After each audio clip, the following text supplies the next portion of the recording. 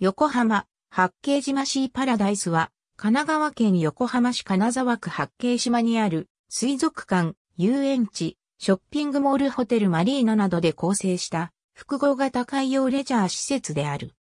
1988年3月西武不動産やプリンスホテルなど西武鉄道グループを中心とする旧社により事業開始。横浜市が人工島である八景島を造成し、一部を株式会社横浜八景島に貸し付けて、1993年5月8日、営業を開始する。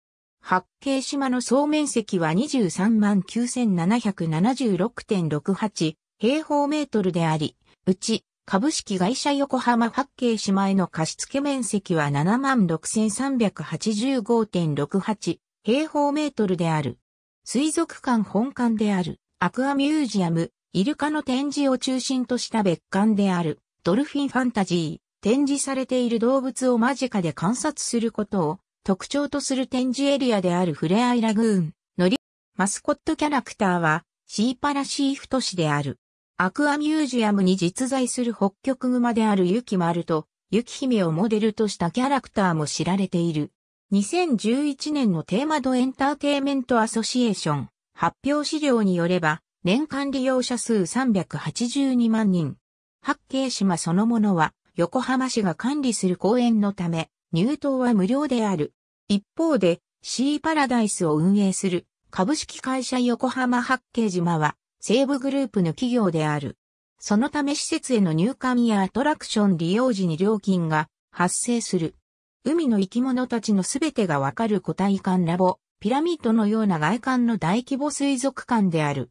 フロアは5階まであり、1、3余階は展示、5階はラボ11、海の源、豊かな森に暮らす魚たちとアクアシアター、2階は一般立ち入り禁止となっている。2010年10月5日からジンベエザメの一般公開が始まった。東日本では初のジンベエザメ飼育展示施設であった。延べ床面積18、000平方メートル、総水量12、000トン720インチデジタルハイビジョンシアター130席、イルカたちが届ける夢と癒しの世界2004年7月16日にオープンしたイルカの展示を中心とした水族館、トンネル状の水槽と円筒型の水槽で構成される。海行くをコンセプトにした水族館2013年3月8日にオープンした。イケスの魚や海藻の観察などを通じて海を学ぶ海育をテーマにした施設。食育ゾーン釣りや食べることを通じて海を知るエリア。オーシャンラボ海中の環境を観察できるエリア。海の生き物たちとの触れ合い2007年7月27日にオープンした。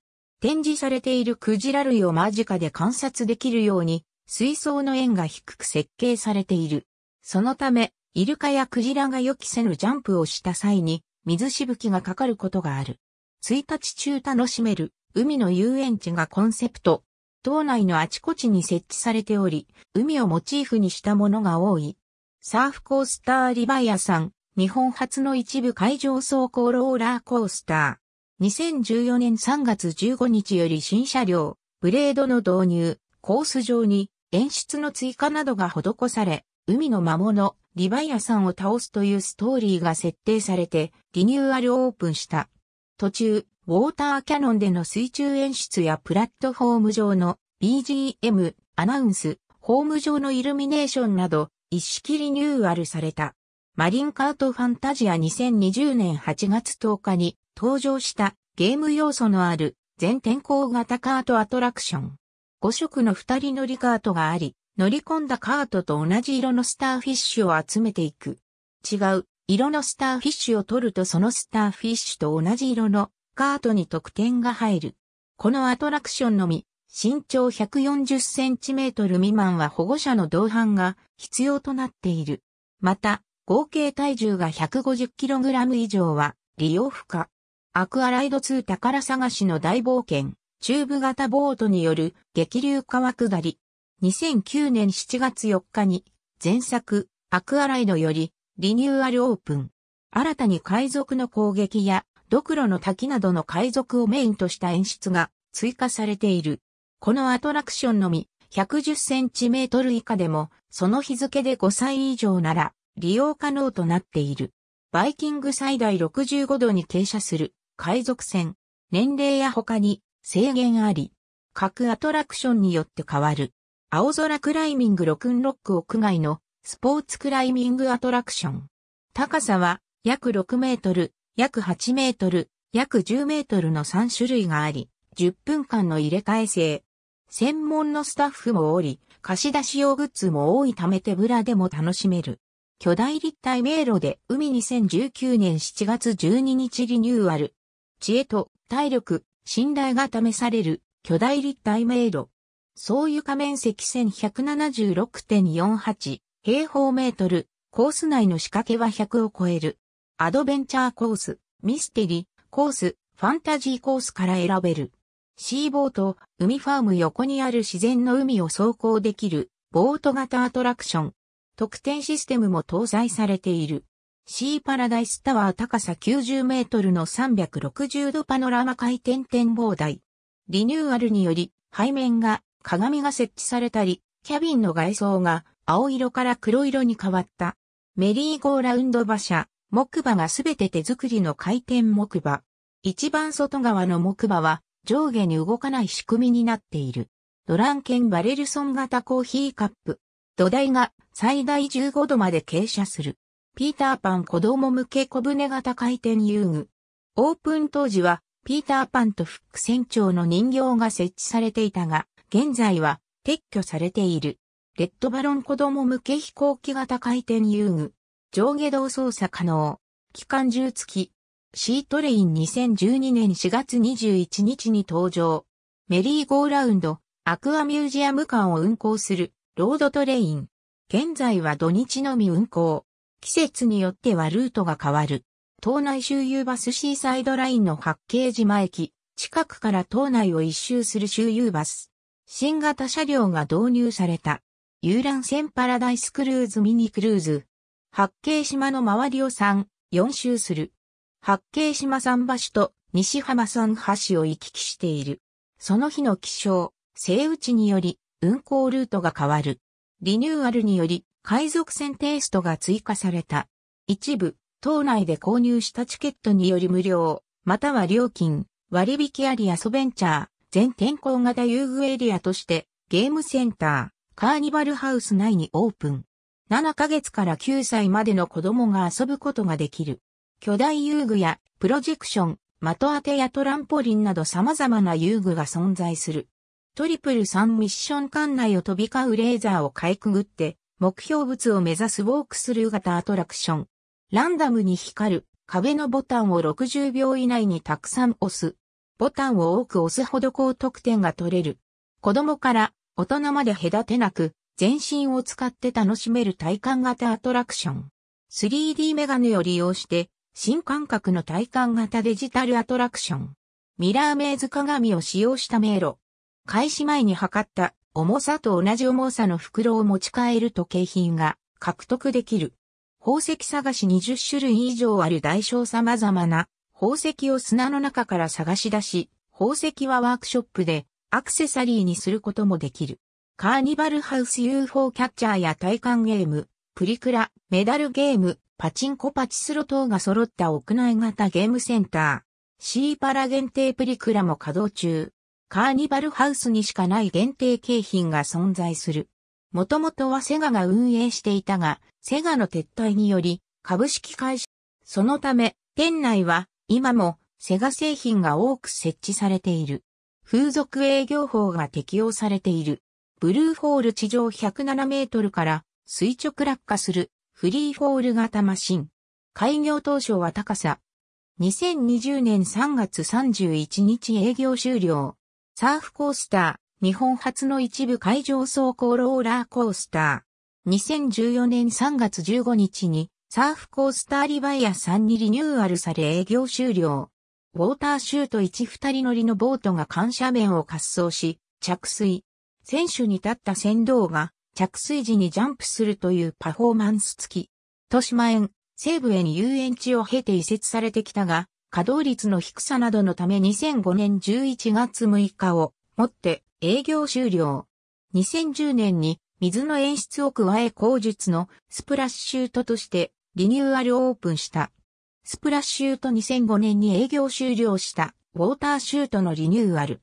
船頭によるジャンプのパフォーマンスが廃止された代わりに高さ5メートルの水柱やミストなどの水の演出が用意されている。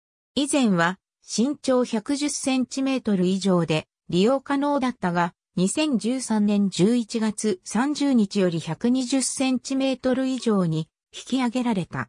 営業終了。アクアライドチューブ型ボートによる激流川下りのアトラクションだったが、2009年7月4日にアクアライド2宝探しの大冒険へリニューアルしたため、2009年6月30日をもって営業終了。ドルフィンコースター4人乗りのミニコースター。2005年11月6日をもって営業終了。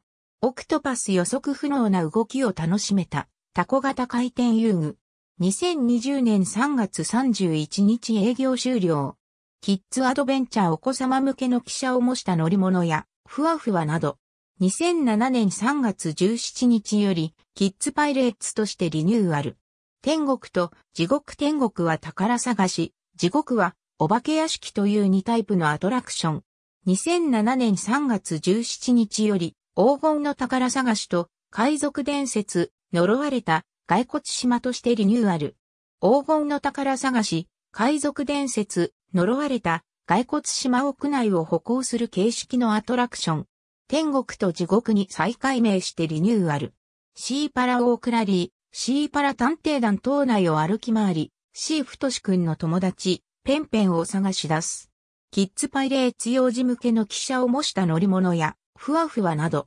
ワクワク、キッズパークにリニューアル。ワクワク、キッズパーク幼児向けの、ふわふわスライダー、面白、キッズカーなど、飛んだり跳ねたりするアトラクションが多数あったが、2009年1月12日をもって営業終了。ミニエキスプレス用事向けの記者系アトラクションだったが2009年1月12日をもって営業終了。天国と地獄天国はそのまま維持されているが、地獄の呪いの魔法陣は2010年3月13日からラストパニックとしてリニューアルされた。シーボーウォーターシュート後の池で営業。自身でエンジン付きボートを操作するアトラクションだったが、2010年5月30日をもって営業終了。黄金の宝探し、ラストパニック演出の変更などがあり2011年3月12日より黄金の宝探しはキラキラ島の宝探しにラストパニックは病院マニアにリニューアルされた。氷の国氷でできた家。入り口で指定された問題の答えを見つけると景品がもらえる。台風により破損し営業終了。病院マニア、キラキラ島の宝探しウォークスルー形式のアトラクション。病院マニアはその名の通り、病院を舞台にしたホラーハウス。週末はライブアクターによる演出が怖いとあまり怖くないの2種類から選べる怖さの選べるホラーハウス。黄金島の宝探しは宝箱を開けるためのキータのかけらを探すというもの。営業終了。シーパラキッズタウン。子供向けの乗り物を集めたゾーン。島内に3カ所ある。島内には乗り物などは存在するが、シーパラキッズタウンとしての営業は終了。レディスポリスアクアミュージアム前広場、シーパラダイスボートアカデミーフレアイラグーン内、ホテルマリーナシーパラダイスマリーナ以前は30から50フィートクラスのヨットやクルーザー約200艇収容するマリーナとして営業していたが、現在は一時渓流のみ対応している。また、ヤマハ発動機が運営するレンタルボート施設、マリンクラブシースタイル会員向けのレンタルも提供していた。八景島マリーナディンギー約300艇、レスキュー艇約15艇収容。クラブハウス併設スペースシャトルガーデン1994年の夏に実物大のスペースシャトルオービタが展示された。2020年4月現在、特に使われているフレーズはないが、過去は以下のフレーズが使われていた。水族館アトラクション、海は友達、恋する、遊び島1988年度撮影の航空写真。国土交通省国土画像情報をもとに作成主なチケットについて、現地で販売されている個人正規料金のみを記載。各チケットは季節によって変動あり。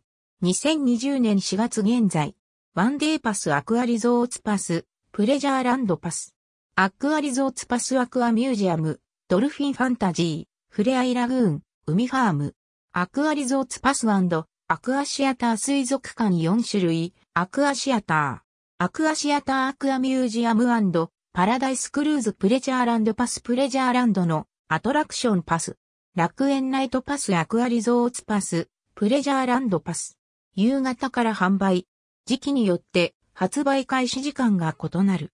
ナイトアクアリゾーツパス夕方から発売するの、アクアリゾーツパス。時期によって発売開始時間が異なる。シーパラプレミアムパスアクアリゾーツパス、プレジャーランドパス。購入日から1年間何度でも利用可能。プレミアムパス購入者特典が多く、限定イベント招待や友人割引など数多くある。他、ありがとうございます。